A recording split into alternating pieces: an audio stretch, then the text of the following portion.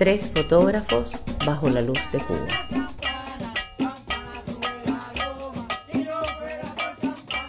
Para mí eso es una intuición, ya yo sé lo que puede, si esa persona se mueve para acá, yo sé lo que me va... Claro. Es como algo que ya tú, tú lo estás viendo de antes, que es difícil. Sí, pero es la magia del momento. Estaba pensando, por ejemplo, en la foto de las pla- de- que hiciste en, en Playita de Cajobabo, Ah, sí. en que de repente el tour de la novia vuela. Eso fue segundos. Claro, eso es una Estaba cosa- en el lugar. Eso es visto y no visto. De repente hace. Eso es menos de segundo. ¿no? Eso, Eso es, es rápido. una- Es igual que la del perro que está en, en el, en el malecón, que de momento se estira y un tipo que está haciendo ejercicio atrás. Ajá. Esos son segundos, el perro se estira en un segundo. Es estar ahí en el, en el instante, en el momento preciso y la composición también, todo. Es difícil, la fotografía yo considero que, que no es fácil, es difícil y, y tener mucha experiencia, eh, pues se coge mucha experiencia con los años, uno va aprendiendo. Todos los días uno aprende. Y sin embargo, tú, Mellado, son elementos muy estáticos a veces, ¿no? Pero, es- pero es la composición con belleza estática, que es otra cosa, es otro mundo, ¿no? Es otra galaxia. Eh, eh, claro, en, fotografía eh, que no son instantáneas, sino que son más paisajes, ahí lo que importa es la interrelación entre elementos, cómo, cómo se comunica entre ellos, Y el color también. claro, el color, la, Las la luz, luces, por supuesto, las luces. y que haya un, la mirada pueda fluir, porque si no la foto queda muy estática. Entonces Claro. es importante que se haya diagonales, que haya un poco de movimiento dentro de, de- de la imagen. Sí, pero son no solamente son las diagonales o, los, o la- las conexiones, digamos, geométricas entre los elementos, sino que también entre las luces, porque tú utilizas en tus fotos, yo veo que muchas veces hay más de un tipo de luz. O sea, hay luces cálidas contra luces eh, frías y de repente están alineadas también de una forma muy especial entre ellas. No solamente eh, se combinan, sino que se combinan geométricamente. Más eso- la calidad después Por de, eso, de yo me pasé, por eso yo me pasé al color.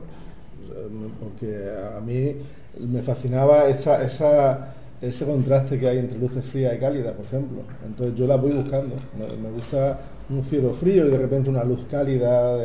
por eso la, la, la tarde, la tarde o cuando por ejemplo ya encienden, encienden las luces artificiales y tiene ahí un tusteno ahí cálido de repente, a mí eso me encanta. Y, es que eso te da la foto. O sea, es una foto, una imagen muy tonta, muy simple, mm, eh, se convierte en algo mágico. Y si tiene color que, que lleva, Claro, simplemente la- por, la luz. le hace una obra. la.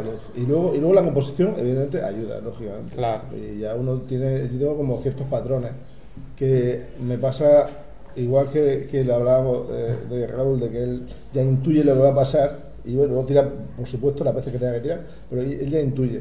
Pues a mí me pasa un poco lo mismo, yo ya como que veo lo que tiene que estar en, en el cuadro, ¿no? Para, para, para que funcione bien y no haya elementos que perturben y todo eso, pero la luz es fundamental.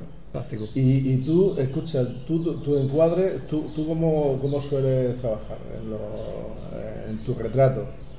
Porque yo te he visto muchos retratos tuyos, pero, pero no sé si tú tienes algún tipo de, de, de, de yo, de yo- iluminación. yo- yo hace, hace, tú usas, tú hace usas cinco años. artificial, normalmente. No, ¿o bueno, no? depende de lo que esté haciendo. Vale. O sea, depende de lo que esté haciendo. Últimamente estoy prescindiendo mucho de la luz artificial, pero lo que sí hice hace cinco años fue volcar la cámara.